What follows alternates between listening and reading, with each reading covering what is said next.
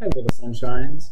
So it's fall. That means October. We get to have lots of fun with pumpkins. So for this week, we are going to do dot art with our pumpkins.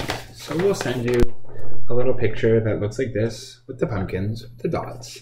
And if you actually have dot paint, that's great. You have it dot, dot, dot.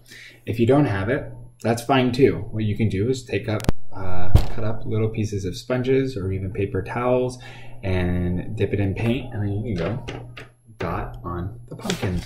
Really simple and easy, but a fun activity, especially to get us into this time of year where we start to see some jack-o'-lanterns.